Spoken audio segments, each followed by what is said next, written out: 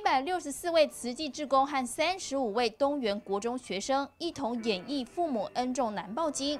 其中林义哲惊觉以前的他对待父母就是这样的态度。在这次的表演中，让我知道父母亲责骂我们是因为担心我们，所以我们不能对他们。发任何的脾气。饰演怀胎曲目的妈妈志工杨景纯，儿子二十二岁时车祸往生。面对白发人送黑发人，他靠当志工转变心境。我用我的身体报我的亲恩，那用我的心、我的精神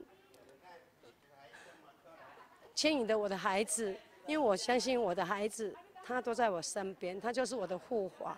演艺的人员全都收获满满。其实东园国中位在东山区的偏乡，许多孩子都是隔代教养。练习的当中，你可以看到他们真的都很单纯，就是你也刚刚讲，哎，一点都没有感觉他们是缺爱呀。我非常的感动，因为孩子们他把他内心的情感真的表现出来，哦，不再那么的羞涩。